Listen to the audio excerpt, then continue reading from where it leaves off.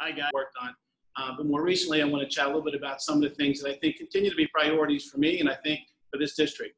Certainly, one of the biggest priorities was mentioned by Representative Lee is healthcare and the work that we've done. I've been at the forefront of this discussion here in Allegheny County in southwestern Pennsylvania as it relates to the UPMC Highmark controversy back in uh, about five or six years ago, working then with Governor Corbett and also with the folks from UPMC and Highmark and Senator Don White, helped hammer out the original agreement that came out of that conversation and followed up consistently speaking out publicly and on the Senate floor about the need for these two folks to get together. In fact, worked on legislation with my colleagues to be able to push that to happen. We need to continue to be able to do that.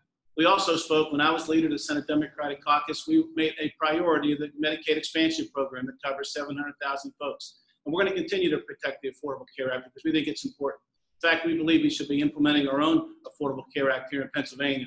We've already started that with the state exchange, but there's more we can do to protect, to make certain in these times like we're in right now, we have the opportunity to protect Pennsylvanians as it relates to their ability to access a good quality, affordable health care. And that's what we're going to continue to talk about, not only for our adults, but also for our children as well. The other area I want to talk a little bit about is investments in education. I've been at the forefront of those conversations and been able to push for restoration of no, over a billion dollars. But to me, the most important dollars we spend are in early learning, child care, child care, and early learning dollars are the best thing that we can do in terms of our resources. And we're going to continue to fight for that. And being able to have a seat at the table with the administration to be able to do that is going to be important for us. We also need to address the cost of higher education. And I think that's something we need to talk about as we go forward, most importantly. Uh, the environment is something I know we need to talk about. And there's been some conversations about uh, the work that's being done in that space. And the reference earlier by my opponent about resources that I've received from uh, individuals uh, through, over the years, uh, implying, I suspect, that that would persuade me to vote a certain way. Let me be clear, like Summer Lee and Representative Frankel and Gainey, I voted against House Bill 1100, probably one of the most seriously damaging environmental piece of legislation we can have. Not only did I do it once, I did it twice. And more importantly, after the governor has now vetoed it, I pledge to the governor that I will make certain that our caucus stands behind him 100% and making certain that we don't override his veto. So that'll put the, an end to this conversation. But also in the area of environmental conversation, I need to talk a little bit about the work that I've been doing along with Governor Wolf on the RGGI program, Regional Greenhouse Gas Initiative, to ensure that we take steps to be able to protect our environment, to allow Pennsylvania to be able to join a consortium states of states to be able to work to combat emissions across this Commonwealth. Those are some of the things we're working on. I've had the experience over the course of years in this space. Over the number of years, I've received 100% voting record from all the environmental groups that are present. Recently, I've been endorsed by the Conservation Voters of Pennsylvania, as well as Clean Action Water and many others. Those are important areas that we're going to continue to work on. Representative Frankel spoke a little bit about the work we've been doing together in the hate crimes area, along with Representative Ed Gainey. We're going to continue to fight for those programs. And we're also going to continue to push for resources to protect our communities, whether they be faith-based or whether it be organizations that are looking out and fighting for men and women in this Commonwealth who oftentimes are the subject of, of discrimination and hate. That's why we were able together, he and I made certain that we were able to get $5 million this past year coming to our communities across the state with more than 15% coming into the senatorial district, the 43rd district, an unprecedented amount for one district. These are the type of things that I'm able to do by being in a leadership position that I hold as Democratic leader in the Senate. I want to continue to be able to do. Finally, the area of social justice reform and criminal justice reform. Back in September of 2018, myself and Representative Gainey and Wheatley and Dan Miller stood on those courthouse steps calling for many changes that need to take place as it relates to how we are training our police officers, how we are we dealing with prosecution of individuals, how we define the use of, use of force in our Commonwealth, specifically deadly force. Those were a series of bills that we introduced and I introduced in the Senate to be able to be in that conversation in Harrisburg along those lines. And we met some resistance, you can imagine by whom. But at the end of the day, we're going to continue to be able to push those measures forward.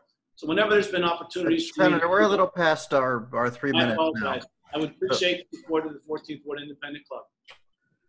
All right, let's let's see if we have any questions for Senator Costa.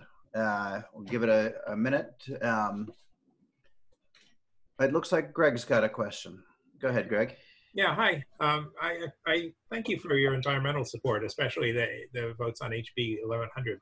Um, but I wonder if you could talk about uh, sort of over incarceration a little bit. I mean, it's especially relevant this this month because prisons are great places for viruses to just run wild.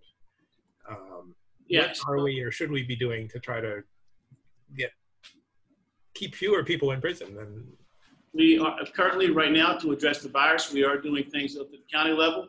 Yesterday morning, we had a lengthy conference call with Secretary Wetzel about some of the steps that he's taken and working with him to be able to, to be able to get folks out of the state prisons uh, and back into the community. We certainly have to have a community uh, structure in place to be able to receive these individuals, to make certain they have, as best they can, housing, most importantly. Certainly on the job front, it's going to be able to be difficult, but we have to do more steps along those lines.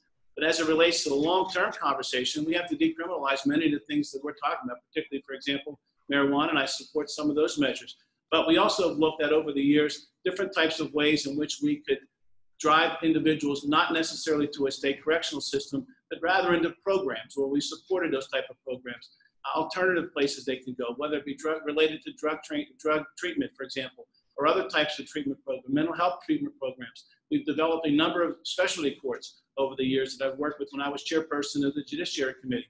Mental health specialty court, drug and alcohol specialty court, Veterans specialty court. There's more that we need to do along those lines. More importantly, in my tenure as Judiciary Chair, Chairman, I had the pleasure of serving about 12 years on the uh, Pennsylvania Sentencing Commission, where we relaxed a number of measures. And during my tenure on the Judiciary Committee, uh, never once did we support mandatory minimums. My colleague, Senator Stewart Greenleaf, that every bill that came over from the House, we stripped out mandatory minimums because we know they weren't working, they weren't working, they weren't effective, and not something we should do. These are the type of things that I think we need to continue to do. Figure out ways to get folks treatment and different types of programs to allow them to be back in our community, in our society. It has to be done with aftercare and follow-up care. And most importantly, when we get through the virus conversation, that there'll be off, there'll be opportunities for them to gain work and gain housing. Okay. We have two more uh, questions in the queue here, so let's let's do those and then we'll we'll move on. Uh, Michelle? Yes, hi. Um, so Jay, I was wondering if you are reelected, if you would be willing to sit down with your opponent and uh, dialogue with him about uh, seeing what ideas of his you can incorporate um, as senator, because I, I would love to see collaboration and cross fertilization of ideas. So I'm wondering uh, how you would feel about that. Well, absolutely. I'd be happy to sit down with Bill or any other folks in any other organization that we may not see eye to eye on, on some issues or, or have similar ideas. I'm happy to be able to do that. I mean, yes, folks in Harrisburg and in our community outside of maybe the 14th Ward, you'll learn that people view me as someone who's a consensus builder, someone who understands how to, to advance things through the legislative process. We've been in a minority in the state senate for like, you know, 48 out of 50 years. And uh, be able to get things done, you have to be able to work with folks and understand some of the things that need to be done. So more than happy to be able to sit down with Bill or anyone else uh, going forward on these type of things. uh, Mark, uh, let's let's hear your question.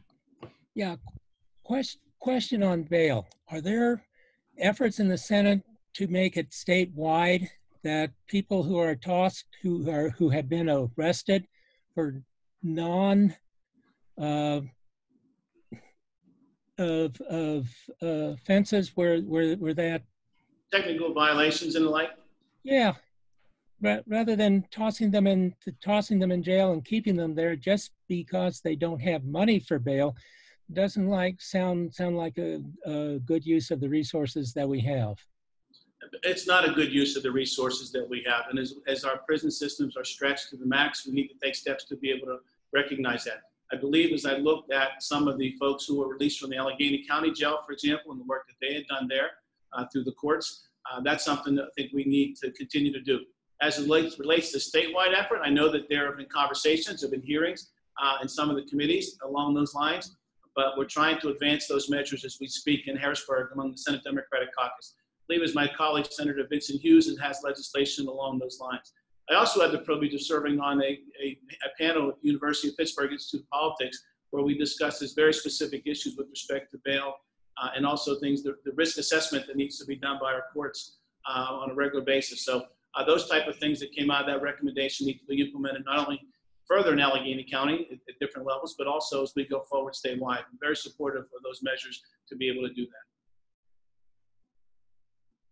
Great. Um, I think I think that was our last question. Thank you very much. very much. I would appreciate very much uh, your support. Uh, uh, the endorsement of the 14th Ward Independent Club. Uh, growing up in that community, I know how important it is. So thank you very much.